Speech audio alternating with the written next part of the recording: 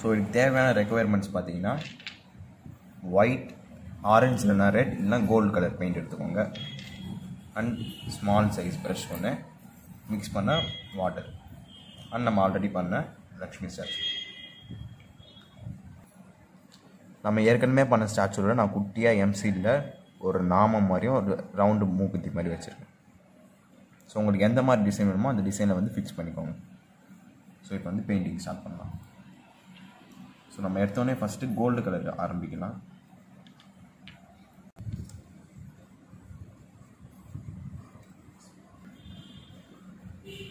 So எங்கெங்கே வேணுமோ அங்கே ஃபஸ்ட்டு ஒரு லேயரில் கோல்டு கலர் கொடுத்துக்கலாம் நம்ம போடுறது வந்து ஃபஸ்ட் கோட் தான்.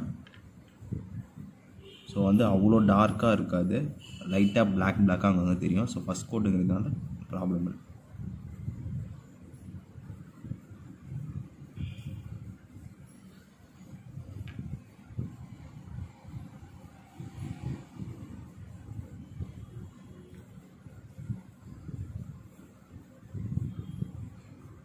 நல்லா மெல்லிசாக இருக்க ப்ரஷ் யூஸ் பண்ணிங்கன்னா நல்லா பொறுமையாக கிட்ட டீட்டெயிலில் பண்ணலாம்.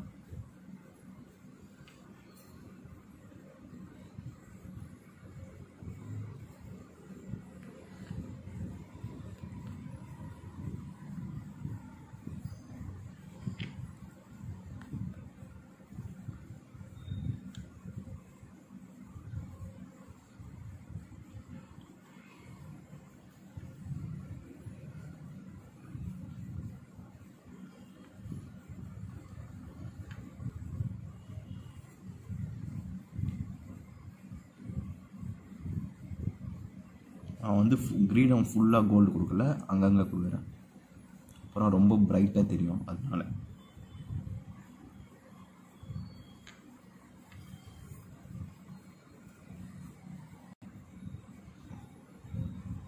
ஸோ இப்போ இந்த சைடில் வந்து அந்த இயரிங்ஸ்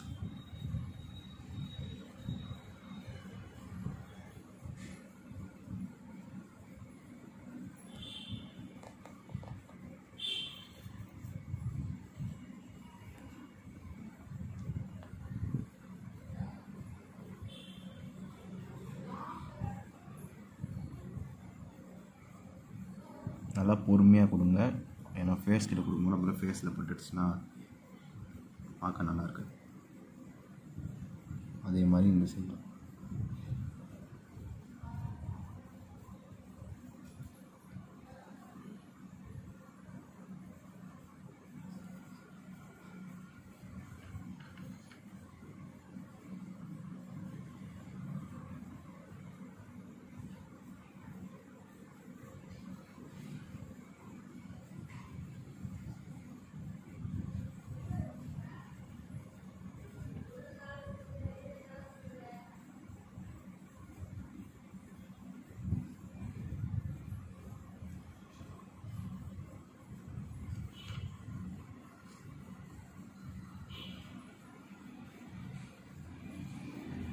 அடுத்து இந்த ஜுவல்ஸ் இதெல்லாம் கொடுக்க ஆரம்பிச்சிடலாம்.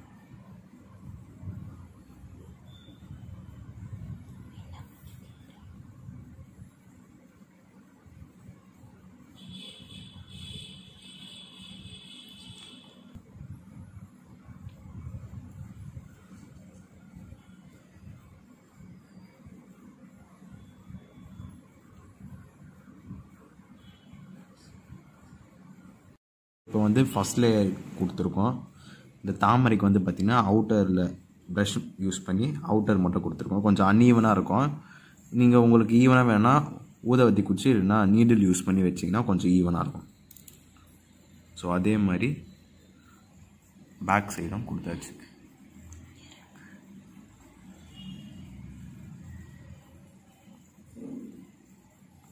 ஸோ இது ட்ரை ஆகிட்ட அப்புறமா இதுக்கு இதே மாதிரி செகண்ட் கோட்டி கொடுத்தீங்கன்னா கம்ப்ளீட்டாக வேலை முடிஞ்சிடுச்சு. இப்போ வந்து செகண்ட் கோட்டிங் கொடுத்துட்டாச்சு. ஸோ அவள் தான் கம்ப்ளீட் பண்ணிட்டோம். இப்போ நெத்தியில் நாம வச்சிட்டோன்னா கம்ப்ளீட் ஆகிடுச்சு இப்போ வந்து இது மாதிரி எக்ஸஸாக இருக்கிறது வந்து பார்த்தீங்கன்னா இந்த மாதிரி ஷார்ப்பான நீடில் யூஸ் பண்ணி அப்படியே இப்படி தேய்ச்சிங்கன்னா ரிமூவ் பண்ணிடலாம். அதே மாதிரி இங்கேயும்.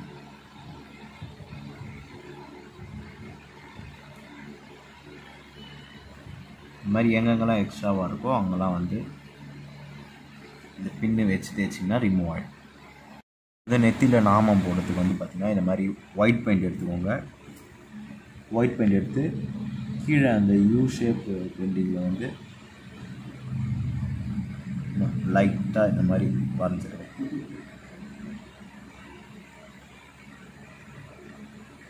லைட்டாக இந்த மாதிரி வரைஞ்சிக்கோங்க.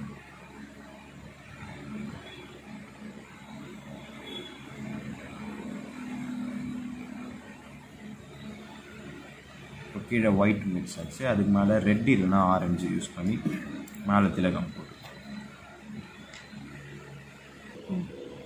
ஸோ இப்போ மேலே திலகம் வைக்கிறதுக்கு இது மாதிரி ஆரஞ்சு கலர் பெயிண்ட் எடுத்துக்கோங்க. நல்லா மெல்லிஸாக வைங்க. தினமாக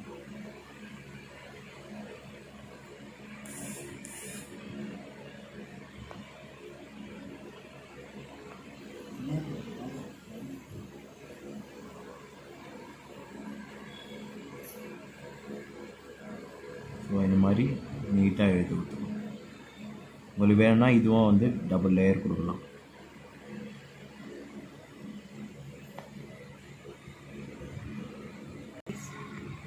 இப்போ வந்து நான் பேஸுக்கு வந்து கோல்டில் ஒரு லைன் மாதிரி கொடுக்க போகிறேன் ஏன்னா ட்ரெஸ்ஸுக்கும் இதுக்கும் டிஃப்ரென்ஸ் இருக்குன்னு தெரியல அதுக்காக. ஸோ லைட்டாக இந்த மாதிரி லைன் க்ரியேட் பண்ணிக்கோங்க.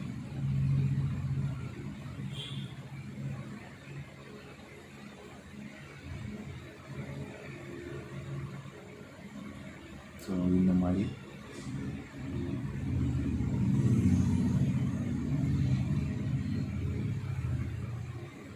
அதே மாதிரி இந்த சைடும்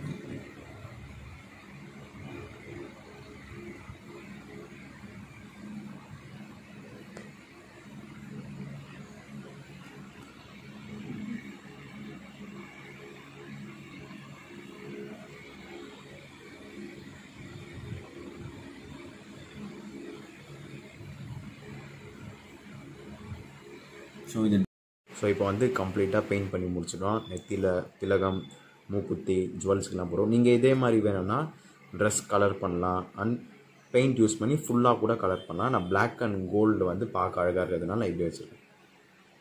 ஸோ பேக் சைடும் பார்த்தீங்கன்னா பெயிண்ட் பண்ணியிருக்கோம்.